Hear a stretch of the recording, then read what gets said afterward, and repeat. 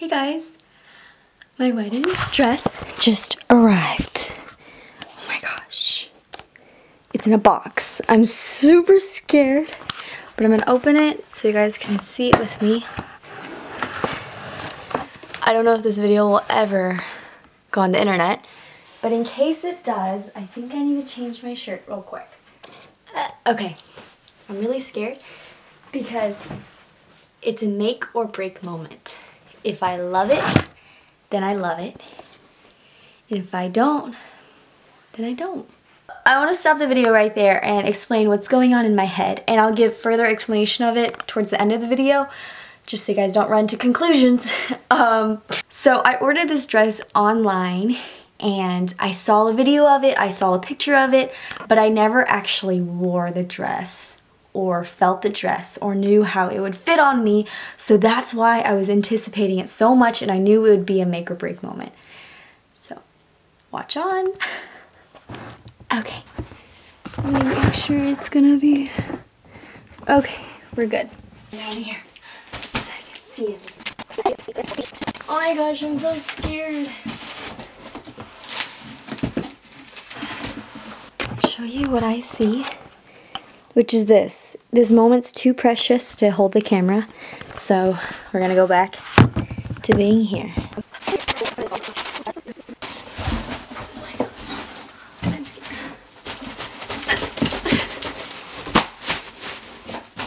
I'm so scared. My heart's pounding. But it's probably because I moved that box.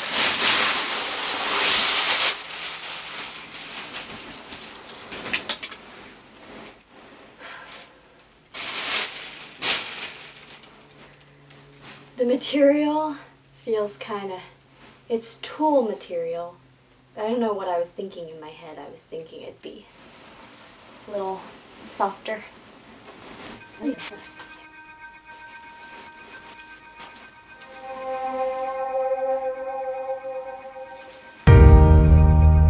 So you messed up. You've been messing so much. I don't know what's going on in my head. It feels like it's a play dress, not really a wedding dress. So I'm kind of scared, you guys. Did end up returning the dress for a couple reasons. One, the tulle was not as soft as I thought it would be, which I should have known, but all I saw were the pictures and the videos and it looked really soft from there. But then again, it's probably my lack of attention to detail. Another reason was that it was really big and heavy. It was so heavy and uncomfortable. And it was so big that it knocked down anything in the vicinity of the dress. When I put it in my room, it filled up half my room and I just got really anxious like where am I going to store this? This is so big and heavy and I just could not imagine wearing it for a whole day which led me to return it.